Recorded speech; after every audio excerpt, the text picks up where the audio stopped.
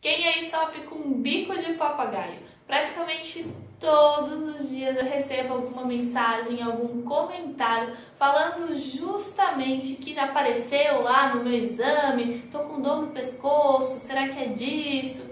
Então hoje eu resolvi vir aqui explicar exatamente o que, que é um osteófito, por que, que eles aparecem e principalmente te dizer que a grande maioria dos casos não é ele o culpado da sua dor. O que? Mas como assim? É verdade, ele aparece justamente para proteger a sua coluna e muitas vezes ele não é o culpado da sua dor. Quer entender melhor do que, eu estou falando? Vai ali embaixo, se inscreve no canal do Saúde Minuto, ativa o sininho para receber as notificações dos vídeos novos e vamos conversar sobre os famosos osteófitos.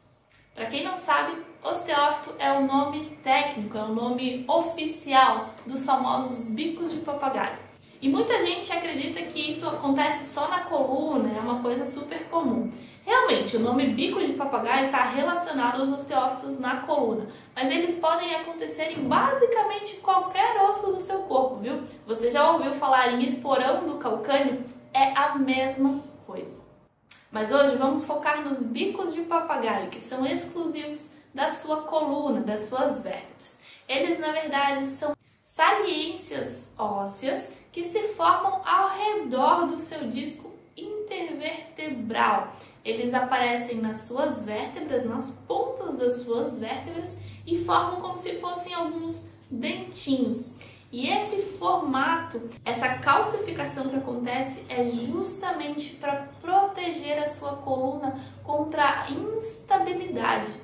Ou seja, com o passar da idade, já que é muito mais comum em idades mais avançadas e não tanto em pessoas jovens, apesar de às vezes acontecer, ela vem justamente de uma degeneração, de uma desidratação do seu disco intervertebral.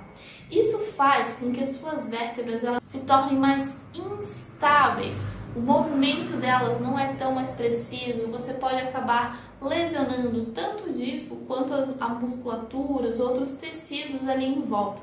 Então, o seu corpo, o que, que ele faz? Ele é muito inteligente e começa a calcificar as estruturas ali ao redor, justamente para proteger, para estabilizar a sua coluna.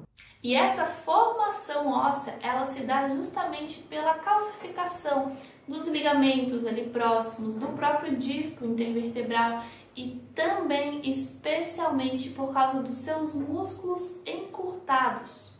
E aí, normalmente é onde aparece a dor, o desconforto porque essa calcificação pode acabar comprimindo algum nervo que está saindo ali da sua coluna, ou então gerar alguma inflamação na musculatura por causa da pressão.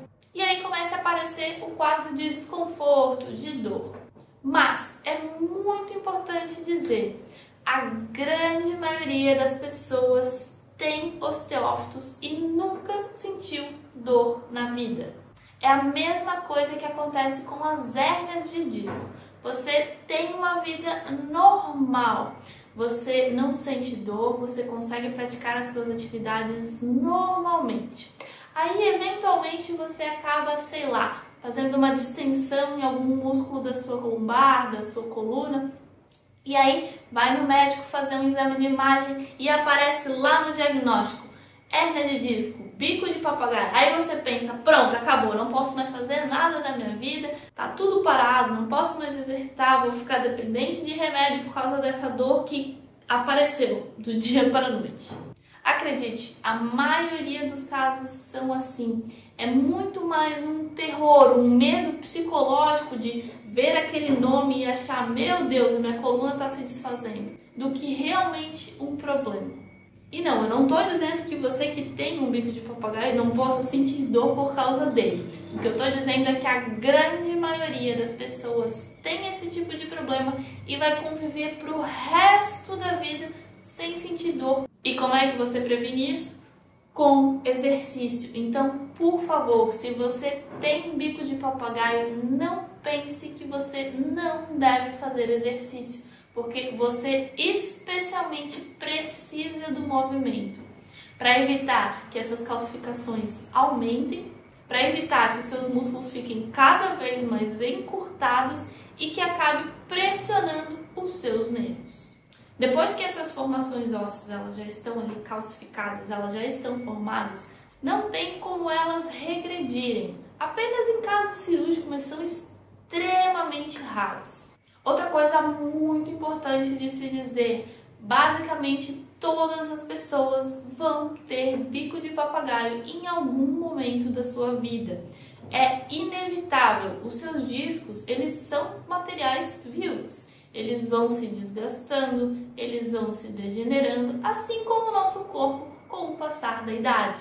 Então, o nosso corpo, uma hora ou na outra, vai perceber que está ficando instável ali a região e vai formar os osteófitos. Você pode comparar mais ou menos com as ruguinhas aí do seu rosto. Conforme a idade vai avançando, elas não vão aparecendo? É a mesma coisa com os osteófitos. Conforme a idade vai avançando, eles vão aparecendo. Aí cabe a você decidir se eles vão aparecer com 40 ou com 80. Porque a diferença entre um e outro é justamente se você cuida da sua saúde hoje, se você pratica seus exercícios, se você se preocupa com a sua coluna. E mesmo sendo inevitável que eventualmente eles vão aparecer, isso não significa de forma nenhuma que você vai sentir dor por causa deles, que você vai perder mobilidade por causa deles, ou que você não vai mais ter uma qualidade de vida boa. Como eu disse anteriormente, a grande maioria dos casos não apresenta sintomas referentes apenas ao bico de papagaio. Então, se você tem agora, se você tem dor por causa deles, saiba que com a avaliação correta, com as instruções, com o acompanhamento correto, você pode voltar a ter a qualidade de vida que você tinha antes de descobrir esse problema.